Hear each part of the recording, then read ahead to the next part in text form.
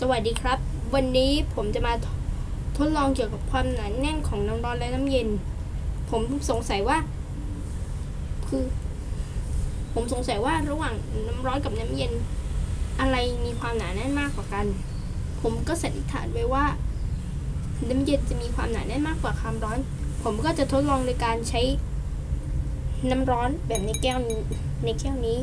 กับน้ำแข็งตัวนี้ใช้แทนแก้ว น้ำเย็น ในกรณีนี้เราใช้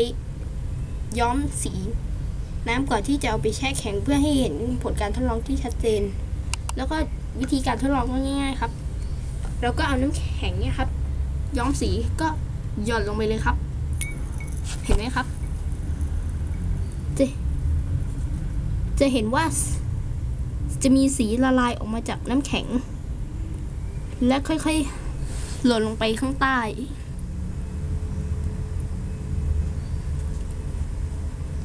เห็นได้ชัดเลยว่าทั้งทั้งในในน้ำแข็งนั้นอาจจะมีฟองอากาศทำให้มันลอยอยู่ได้ แต่ว่า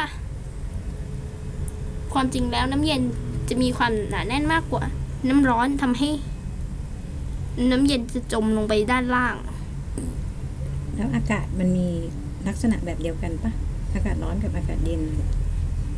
มีลักษณะเหมือนกัน เหมือนกันเลยครับ โดยที่ อากาศเย็นจะอยู่ด้านล่าง ส่วนอากาศร้อนจะลอยเหนือข้างบนจะเพราะฉะนั้นช่องระบายอากาศร้อนส่วนใหญ่จึงมักจะติดตั้งข้างบน บนส่วน หลักการนี้จะใช้ในการติดเรื่อง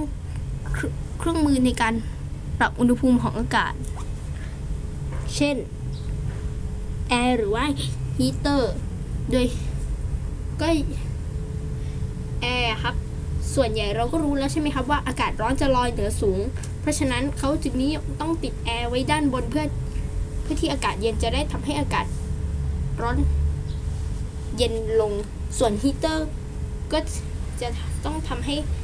อากาศเย็น เย็นข้างที่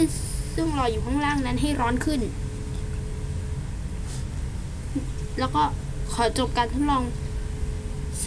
สรุปผลการทดลองได้ว่าน้ำเย็นจะมีความหนาแน่นมากกว่าความร้อนทำให้ลอตัวลงต่ำสรุปแล้วก็ขอจบการทดลองเพียงแค่นี้ สวัสดีครับ